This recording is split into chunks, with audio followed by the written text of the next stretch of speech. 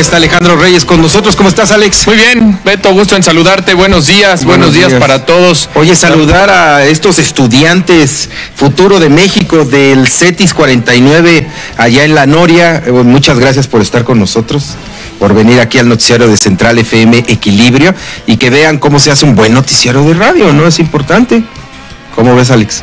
Hay que preguntarles a quién le van en los deportes. no vaya a ser que empiecen mal pues, su carrera, ¿no? La Noria, pues se ve que, que hay buen, buen. Mira, ahí están en la pantalla. Sonrían, muchachos, por favor. Saluden del CETIS 49. Lo siguen 150 mil personas en Facebook. Ajá. Entonces es es el momento de aprovechar. Ahí después lo ven en centralfmonline.com, lo pueden ver ya que veo que tienen todos sus, sus teléfonos inteligentes. Bajen la aplicación para que nos puedan escuchar. Pregúntenle a su maestra que está también por aquí qué es lo que está pasando.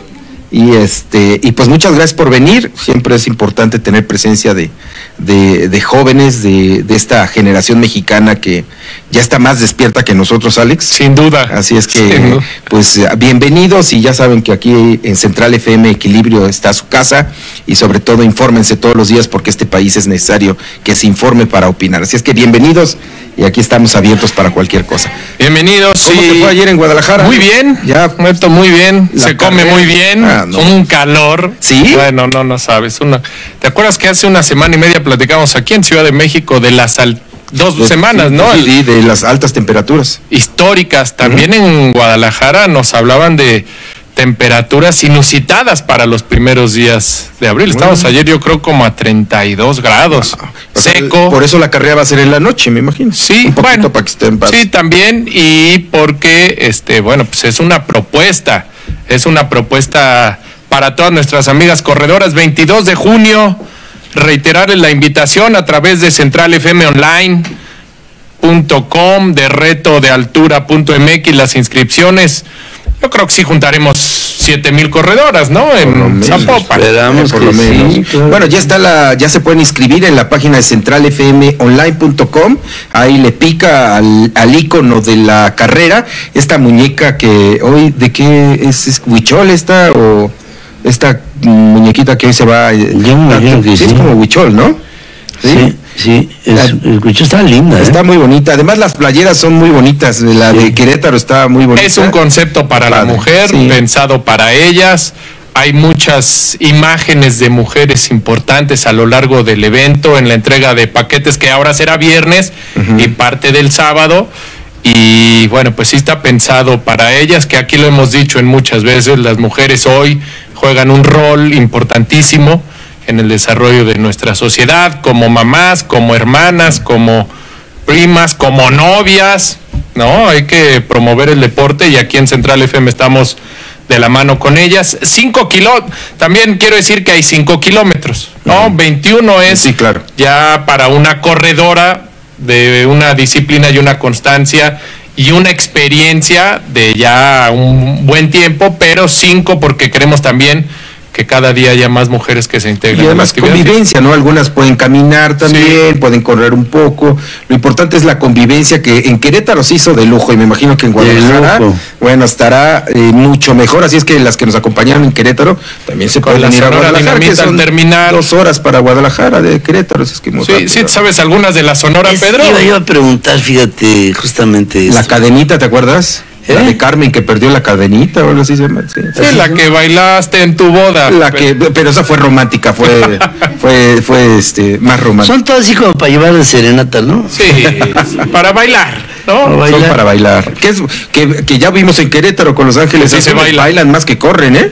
Y en A ver, Querétaro estaban a 30 grados Sí. centígrados, ¿no? Y Acá- bailando. Y bailando acá. Esperemos nada más que no nos llueva. Los únicos que nos se- quemamos en Querétaro fue Alejandro y yo porque no sabíamos bailar ni una de Los Ángeles Azules. No. Y ahí andamos dando brincos. No, pero sí, sí baila. Sí le echaste ganas. Sí, le ganas. El pipipiripi, ¿o cómo era? ¿Cómo era ese gritito? Ustedes chavos de... No, pues son muy chavos, ¿verdad? Sí, ándale, era así, ¿no? Sí, bueno, Estos pues, niños son eh, puros de reggaetón. Sí, pues sí. ¿No? Tampoco. No, hombre. Qué eso sí los ¿Cuál, qué felicito. es lo- cuál- cuál es su música? ¿Cuál es su música?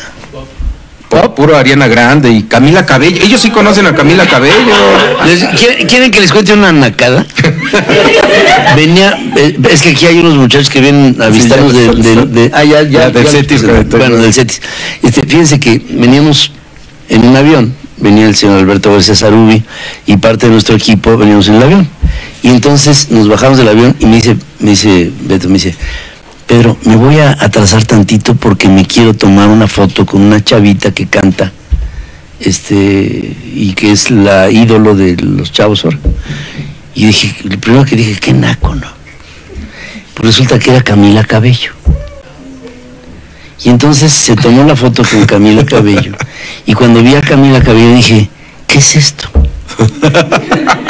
Y luego ya me dijeron que era la de Habana. Además fui el único que que se es una canción pues, histórica, ¿no? Sí, claro, histórica. Histórica. Oye, fue creo que primer lugar como tres horas. O sea, ahorita con la, con la competencia que hay en canciones. Bueno, sí, pues no contento con haber tomado la foto con Camila Cabello, inmediatamente la publicó en su muro en el Facebook. fue el, eh, fue el La post foto más... más- retuiteada que he tenido en mi historia de Twitter. O sea que todas las que has tenido conmigo valen. por- Ay, creo Ahí que se por uno. Las superaron por importantes son uno. las de Camila Cabello.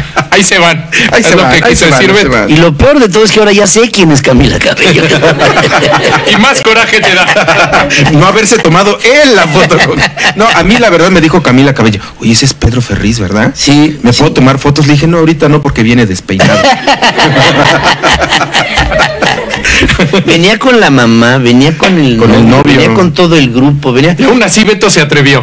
sí, pues. Eso entonces sí yo dije, valentía. si no trae jet privado, pues no creo que sea una No sé, cantante. tampoco, eso sí es. No, Ahí sí lo pensé, dije, bueno, solamente para mi hija le voy a tomar la foto para que la vea. Pues sí. Si luego hay hasta de estos que. Por- jockeys que traen su Grumman. Sí, sí, traen, sí, sí, y ella no lo trae. Y Es que, Camila es que es como Andrés Manuel, llegó al, llegó al país donde no hay aviones Claro, privados, pues. porque hay que estar cerca del pueblo. Hay que estar cerca. Pues mira que los tuvo. Hasta contigo se tomó foto. Es que su papá es mexicano, entonces seguramente le ha de haber dicho, mira hija, ahí hay que llegar a una tierra que ¿Es su papá cerca. Su papá es mexicano, creo, y su mamá es cubana. Ya. Y ella creo que también es cubana, algo así. Sí. No, no me lo sé mucho, al rato le, pra- le pregunto a María, lo José, sabes sabes No, no. ¿Cuándo nació Beto? Ah, en... El año pasado. Creo que fue hace tres años. bueno, ¿qué Bueno, hay información de deportes. a ver, aparte, ¿verdad? Aparte, sí, de Camila Cabello, que espero por lo menos haga ejercicio. Yo creo que sí. Ay, claro, olvídate. Oye, pero pues ya están ahorita María Fassi e Isabela Fierro ya en el campo de prácticas allá en Augusta. A ver si mañana por lo menos algunas palabras de ellas. La emoción que deben de sentir debe de ser indescriptible, Sí. debe ser extraordinario y mañana estar muy pendientes porque este formato la primera vez están buscando este, que, que participen la mayor, el mayor tiempo posible todas. Eh, mañana María Fassi arranca a las 8.36 tiempo de México en su grupo que es el grupo 4 y a Isabela Fierro que la historia de esta chica es extraordinaria. Tiene 17 años, todavía ni siquiera es amateur, es juvenil. Amateur ya será a partir de- del verano que entra a la Universidad de Oklahoma lleva casi siete meses sin jugar un torneo por una operación en la muñeca. Tuvo una lesión en la muñeca, pero aún sin jugar siete meses logró estar dentro de las 32 mejores jugadoras fuera de Lo los le Estados. Unidos, de todo lo que logró con anterioridad. Entonces, ciertamente para México es una... Ojalá haya quedado bien de la muñeca. Sí, sí, sí, entiendo, ya ha estado con mucha práctica, es, ella es muy eh, eh, dada a publicar en sus redes sociales, Instagram, en Twitter, y, y por lo menos lo que pone es que está muy Está bien. Está entrenando muchísimo, y bueno, pues sí, el toque del golf es solamente con muchísimo. Fíjate que el golf es un gran ejemplo de lo que es la vida, ¿no? O sea, en la vida si tú practicas y te dedicas y, y te obsesionas con, con un sistema y con una forma, pues la haces. ¿Y sabes qué otra cualidad requieren fundamental, además de paciencia? Sí. paciencia porque para ganar un torneo te puedes tardar lo que tú te imagines. Hay golfistas que tienen 10 años y un título, Y- ¿no? sí. Y ahí están cada Pues semana. también todo en la vida es lo mismo. Por ¿no? supuesto. Es, es esa paci- paciencia y constancia. Por supuesto. Y estar, eh, eh, digamos, yo recuerdo cuando me contaban de, de Lorena, Ochoa, Sí, sí, en la Universidad que, de Arizona. eh, siempre le pasaba lo mismo. Eh, llegaban a, a comer, llegaba su familia a comer, y Lorena, y afuera del restaurancito, allá en el hoyo 19, Ah, había un lugar para pots. Sí. ¿Y qué estaba haciendo? Perfeccionando su pot. Nunca estaba a tiempo a la hora de la comida, porque siempre estaba sobre lo suyo, que era el hacer las cosas bien. Y esto pues, le permitió ser campeona del mundo. Sí, la número uno por cuatro años y marcar un antes y un después para el golf mexicano. Sí, ¿no? eso. Sin duda alguna. Y ojalá que este torneo para las mexicanas y para el golf en México Sea- vuelva a marcar otro punto. Y aparte, Lorena es fuera de serie, pero estas chavitas tienen un futuro tremendo. María, que platicamos con ella, muy centrada, va a terminar su carrera, empieza en el verano la eh, etapa de profesional y esta chiquita Isabela que no cumple ni 18 años y ya estará jugando en este torneo. Aquí estaremos muy al pendiente, pero porque vale la pena creo destacar Sí. este momento fundamental para el deporte mexicano. Como también es muy importante destacar lo que está pasando en el béisbol de las grandes ligas. La primera semana, Julio Urias, usted recordará que es un joven que debutó hace apenas uno- unos meses con los Dodgers de Los Ángeles. Bueno, pues ayer tuvo una gran actuación, lanzó cinco entradas, un una actividad de tres hits, ponchó a siete rivales, dejó ganado el partido, pero no pudo ganarlo debido al mal relevo que tuvieron en este juego Alex Verdugo, joven mexicano que nació en, en Arizona, pero pues de familia mexicana, optó por jugar por México. Alex Verdugo conecta el primer cuadrangular de la temporada. Roberto Zun, el cerrador mexicano más importante de los últimos 3, 4 años, le da a los Astros de Houston la primera victoria 2 por 1 ante los Rangers de Texas. Mucha actividad en el fútbol. En España el Barcelona visita al Villarreal. Tienen 10 puntos de ventaja, quedan 9 partidos. Si ganan 6 ya no hay forma que los alcancen y ese es el objetivo del equipo de Leo Messi. Hoy visitan al Villarreal y el equipo en la Liga Premier estará jugando el Wolverhampton de Raúl Jiménez con contra, mejor dicho, el Manchester United, el equipo que estará disputando los cuartos de final de la Champions. En México hay Copa MX, América contra los Cholos de Tijuana a las 8 y, 8 y cuarto, 8 y media de la noche en el Azteca. El que gane avanzará a la gran final. Mientras América está peleando la primera posición de la liga, la semifinal de la Copa MX en Guadalajara, todo es caos. La verdad es que aquí platicamos el tema de salud de Jorge Vergara. En Guadalajara hay mucho enojo porque pues Jorge Vergara por problemas personales se ha tenido que retirar mucho, dejó la administración y el manejo del equipo a Mauri y también mucha influencia de José Luis Higuera, que entiendo pues en el tema administrativo y financiero le ha ido bien, pero en el deportivo, bueno, los aficionados están furiosos por lo que ha hecho. Paco Arredondo nos cuenta más del equipo de Chivas que no tiene un entrenador fijo, andan buscando a ver quién, a ver quién se atreve.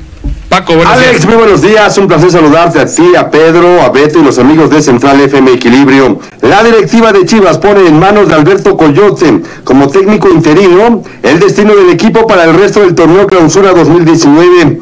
Coyote, ex auxiliar de Pepe Cardoso, fue capitán del rebaño hace 22 años cuando ganaron el título del verano 97 y sabe desde las entrañas no solo el pasado, sino el presente de los rojiblancos. ¿Qué es lo que falta? Confianza. Anímicamente, por supuesto que están golpeados los jugadores. Hay que tratar de reanimarlos, hay que buscar nuevos objetivos. A final de cuentas, son cinco partidos. Creo que aún tenemos posibilidades de calificar y La misión, superar la crisis de credibilidad y resultados. Cuatro derrotas en liga y un empate. Además de la eliminación en la Copa MX a manos del América. Hay vergüenza y ofrecen disculpas a la afición. Habla Mariano Varela, director deportivo. Y hoy tenemos que estar un momento muy unido, ¿no? Eh, eh, a la afición, por supuesto, eh, pedirles una disculpa por, por lo que está pasando. Eh, no se lo merecen. Desde el 2002, cuando Jorge Vergara compró las Chivas, han desfilado un total de 25 técnicos. Alex, la información, te mando un abrazo. Muy buenos días. Muchas gracias, Paco. Buenos días.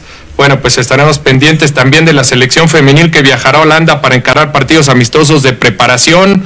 Enfrentarán los selectivos hacia los Juegos Panamericanos, pero sobre todo a los Juegos Olímpicos. Y bueno, pues, eh, pero la información más destacada de este día. Hay cosas interesantes. El tenis está muy atractivo.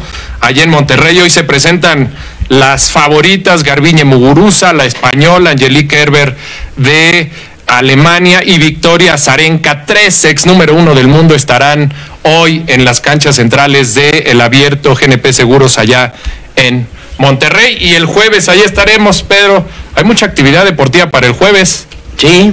Está el tenis, está la final del básquetbol. Bueno, el Vas a estar en primera fila, así como Woody y Jack Nicholson el Por 25 supuesto que de sí, diciembre. por supuesto, con mis lentes oscuros para que nadie me Nadie te ubique. Claro. Sí, sí. claro. Rian, Rian.